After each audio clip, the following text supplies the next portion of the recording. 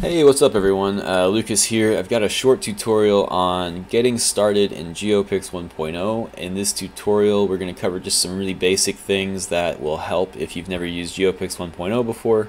Uh, and it's going to be basically walking through the process of getting this panel working and lit up and streaming data from this uh, configuration right here in the viewport. And we're also going to talk about some of the content options and how you can bring those in from an external source such as your hard disk, and uh, it's going to be a pretty quick one. So let's just dive into it and get started.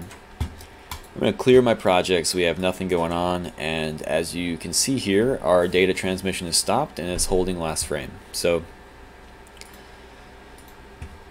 what we're using for this pixel controller, by the way, it's a Teensy 3.1. It's using the code I have put together here. It's actually a probably a couple years old now, maybe more. Uh, if you go to enviral-design.com, under more, you can find the Teensy 3.1 slash Arduino guide. Um, uh, this will pretty much walk you through getting it set up, so I won't talk too much about it here, uh, but the code is right here.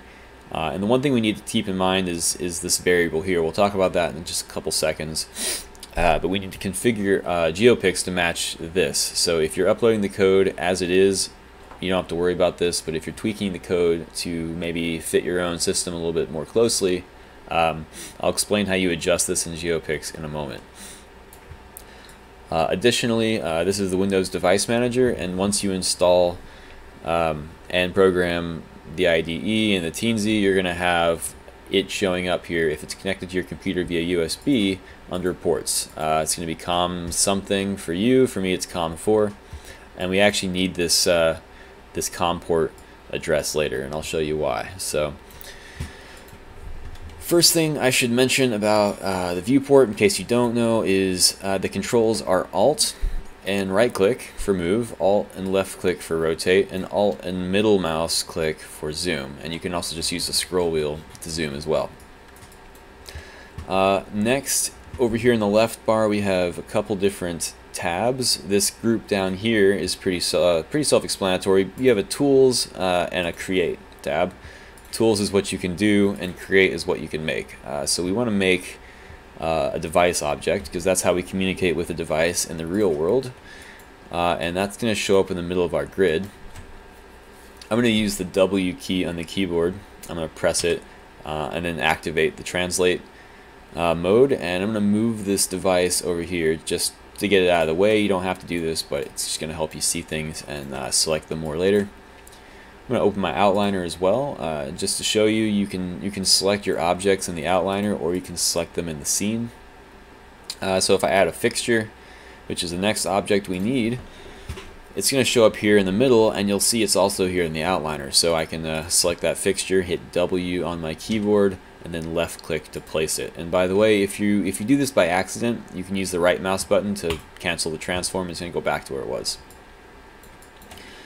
Uh, so if you hop back over here to device, uh, I won't jump into the, the settings too much, just the ones that we need for this, uh, this particular tutorial.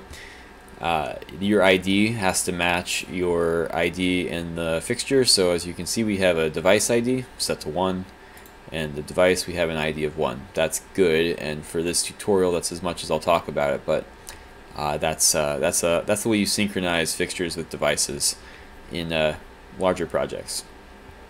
So protocol, let's go and set this to serial.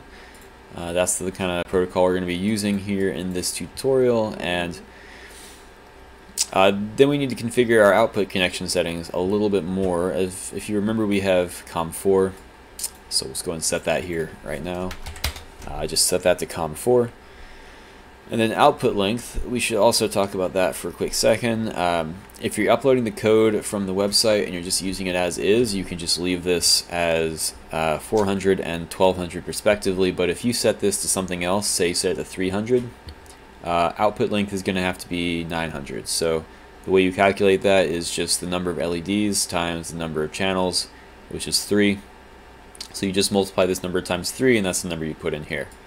Uh, and that's just how you uh, match up those settings correctly. Number of outputs you actually shouldn't change um, because the this library expects that there's a hard-coded number of 8 at all times, and that's just the way it works. If you're kind of doing your own homebrew uh, serial device, maybe you actually do have a number of strips parameter that you can change. And in that case, you would want to change this because what it's ultimately doing uh, is it's saying uh, 1200 times 8 is whatever that number is, 9600, I think. And that's the maximum number of bytes it needs to send in a message. So it has to match the serial device for those uh, pixels to light up in the correct order and for things to match. So uh, anyways, that's all we need to really talk about there. Once we get that set up, let's just uh, right click and drag to toggle our active flag on.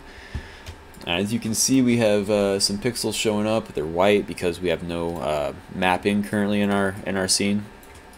Uh, so the next step that we need to do is add some hulls to our grid here. So let's select our fixture and you'll notice that when you select a fixture object and only one at a time, these tabs right here become visible. And these tabs here allow you access to the other subtypes of a fixture. No other object type in GeoPix at this point in time uh, has other sub-object types. So a device does not let you click on these, but a fixture does. So if you click on hulls, uh, we have a few things over here that you haven't seen before, but we're not going to talk too much about them. Uh, in this video, I just want to say uh, that you should have grid snapping on, so make sure that's toggled on, and you want to go from um, over here to hulls and click on hull add mode.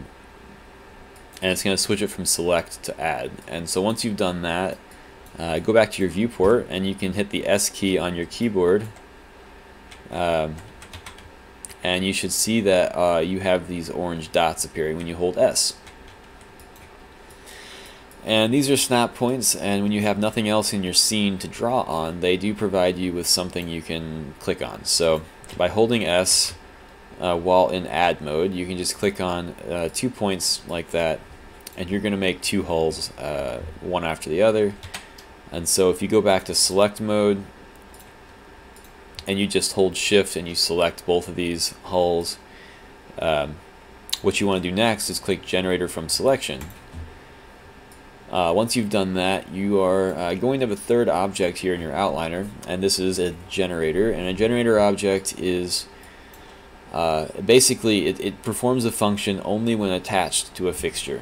Uh, so it has to be attached uh, as a as a child here in the outliner or in the world. Uh, and you can tell it's parented too because when you select the fixture, this turns blue. And if you move this around, it's going to move with it. so a generator has a few settings here. Uh, it can be a pretty complex thing to work with depending on uh, what else you're dealing with, but for now, all we have to really worry about is X count. Uh, this is set to 10, but we know, uh, well I know this panel has 45 pixels, so we want to set this to 45. And so once we've done that, uh, you can see that the entire panel now is lighting up. That's great. Uh, that's exactly what we want. Um, that's pretty much the, the extent of what we'll do for the mapping in this tutorial. And the last thing that we really want to talk about, uh, just briefly, is getting some content of your own on these pixels. So just to show you what's going on and where this texture is currently coming from, if you go to the I.O. tab, uh, you'll be presented with the default ramp. And the default ramp is essentially an undeletable object that you always have access to uh, and when you don't have any projectors in your scene, which we're about to make, uh, this content gets projected uh, kind of automatically onto your scene. And it uses the bounding of your scene so that every pixel will always have content uh, until you make your first projector. So uh, this is a good time to go ahead and do that. We'll go down here to create. Uh, we can keep our outliner open and let's just make a projector. And once we make that projector, it's going to show up right in the middle of our scene.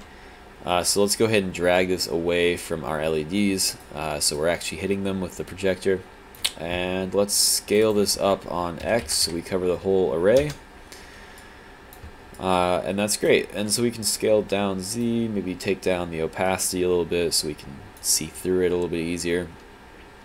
Uh, so now that we've got this projector here, you can move it around and you can see how that texture kind of tracks with the projector. Uh, but now that we've got this projector here, we can actually choose our own content. But first we need to actually bring that content into GeoPix. Uh, the way you do that is you go back to the I.O. tab, and you uh, you go down here on the left to video clips and you want to choose a folder. Uh, right now I've already got the folder selected uh, but I'm gonna go ahead and clear this so we can kind of go through this together. Um, so you want to choose a folder click the dots uh, and just go ahead and navigate on your hard disk to a place where you have some clips. Uh, let's see where do I have them? Libraries clips and so they're not going to show up here, but if you know this folder has videos, just hit select folder. Uh, and then once you've done that, you're going to need to click on the actual video clip bin that's uh, up here as the top tab. And when you click on this, you actually have a few things here. And if you've loaded the sample project folder that comes with GeoPix, you'll probably see the same clips. Uh, so at this point, all we have to do is click on these and add the ones we want to our uh, our graph here. And once we've done that, uh, that's all we have to do in the I.O. tab. We can jump back to the editor. Uh, and then to apply these clips, we actually want to go ahead and open up the I.O. palette, which is this other bin in the top right. Uh, once we do that, you can see the things that you added here in this list. And you can just click on them and you can assign them to your projector uh, which will then project them onto your LEDs and then your device will communicate that straight out to your object. So uh, that's essentially it. It's a very simple process to get up and running. You can do it in just a few minutes uh, and once you do that you can start playing with the projectors, you can rotate things, you can uh, scale them, do all kinds of different stuff. Uh, you can you can project a texture just across half of your LEDs. Uh, all kinds of stuff. We'll talk more about that in another video. It gets quite fun and interesting and sometimes a little confusing. Uh, but that's it for this video. Uh, thanks for watching. If you have any questions or comments, just please let me know down below or shoot me an email. So appreciate it and uh, thanks for watching.